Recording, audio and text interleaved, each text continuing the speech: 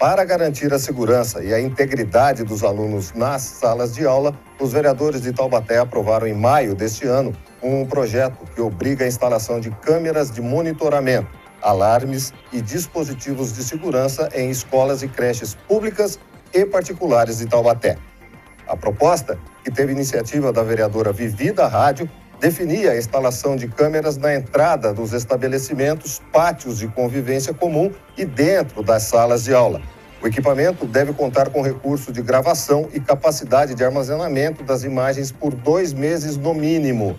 Esse trecho foi vetado pelo prefeito quando ele sancionou a lei no mês de junho. Na mensagem encaminhada à Câmara, Saldi explicou que as escolas já possuem câmeras que funcionam de forma remota mas o armazenamento de imagens dura duas semanas.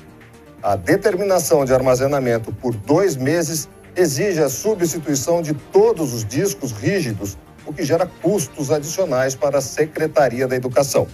Assim, restou ao documento a parte que estabelece a instalação dos equipamentos, além do trecho que garante a proteção das imagens, conforme a lei, e o acesso somente por pessoas autorizadas mediante justificativa.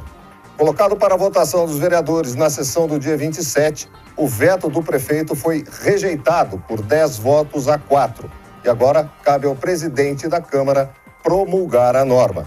Além de prever os pontos onde as câmeras devem ser instaladas, a lei em vigência prevê ainda a instalação de sensores de movimento e alarmes sonoros nas unidades escolares e a proibição de instalação de cercas que possam colocar em risco a integridade física dos alunos.